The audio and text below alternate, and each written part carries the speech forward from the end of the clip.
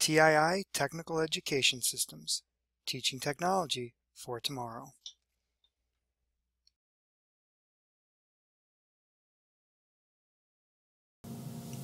This video is for Unit 6 of the TII Technical Education Siemens PLC and HDM, HMI trainer.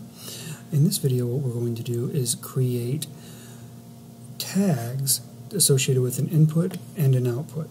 So what we're going to do is come here to open up TIA portal and set all of the necessary uh, settings when we create a new project. So new project, say this is unit 6.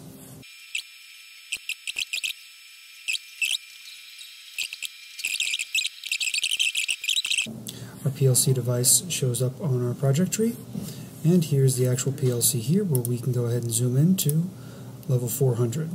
Now what we want to do is we want to go and start creating our program. So what we are going to do is expand the folder for pro program blocks. And we are going to double click on the main program. A little tag will develop down here and this page should disappear. Alright, now we are in our programming workspace here. And we want to create just a very very simple program. So what we're going to do is we are going to click on an input what they refer to as an examine if open normally open contact.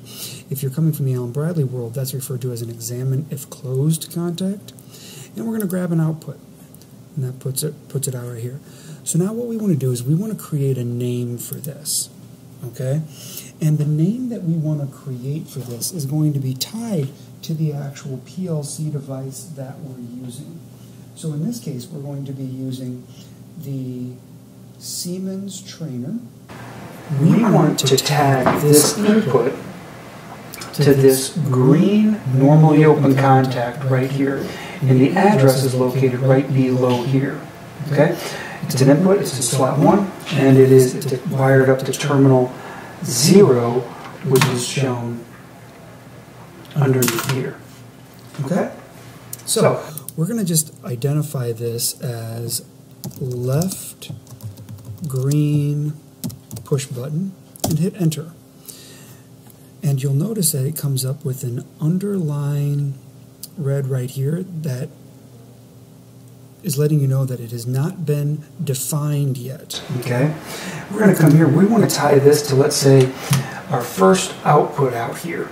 So we're going to say left red light.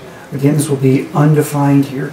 So now what we have to do is we have to tag this to the actual input. And there's a couple of ways to do this. The easiest way to do it is to come up here to split screen and what that does is that puts your PLC program here and the actual PLC over here. So now, watch how easy this is. This is such a cool feature. The green push button is tied to I0.0.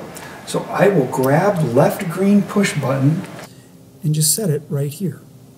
Give it a second, and as you can see, the name has been tagged to this terminal block on the PLC. Then I do the same thing for the left. I come down here, grab this. I'm going to go to Q0.0, drop that in, and your left red light is now tagged to here. I can turn off the split screen and you can see that those addresses have been tagged to the names that we gave here. And it's just as simple as that. I do want to show you one other way to do it that's not in the manual. Um, I'm sorry, this this particular way is not in the manual. This is an, this is another way to do it. One other way to do it is I can create another button here, and I'll just name this right green push button. Hit enter. What you can do is you can drag this name down bring it to the PLC here. That will mm-hmm. bring the PLC up to here, and I can just drop this here, and it's been tagged. I come over here and open up my, my main OB1 screen, and you can see that input has been tagged to it.